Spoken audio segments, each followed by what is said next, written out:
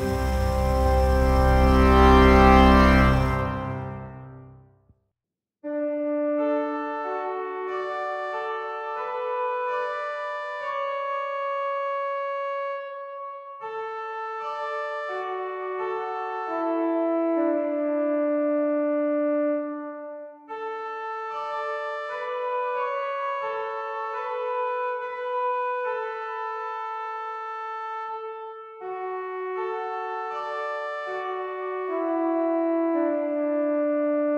시편 36편.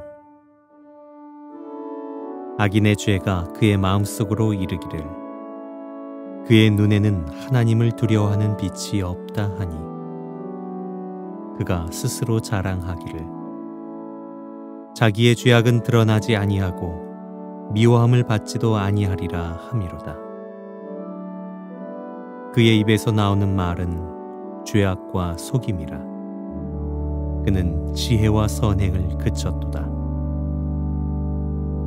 그는 그의 침상에서 죄악을 꾀하며 스스로 악한 길에 서고 악을 거절하지 아니하는도다.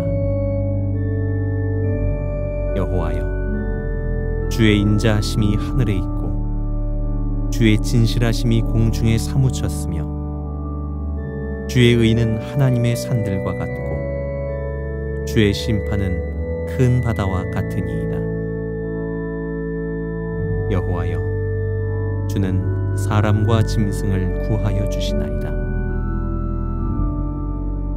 하나님이여, 주의 인자하심이 어찌 그리 보배로우신지요.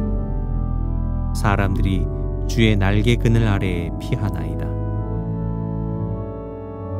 그들이 주의 집에 있는 살진 것으로 풍족할 것이라. 주께서 주의 복락의 강물을 마시게 하시리이다.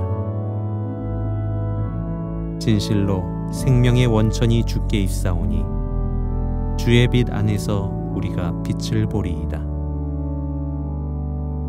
주를 아는 자들에게 주의 인자하심을 계속 베푸시며 마음이 정직한 자에게 주의 공의를 베푸소서. 교만한 자의 발이 내게 이르지 못하게 하시며 악인들의 손이 나를 쫓아내지 못하게 하소서. 악을 행하는 자들이 거기서 넘어졌으니 엎드러지고 다시 일어날 수 없으리이다.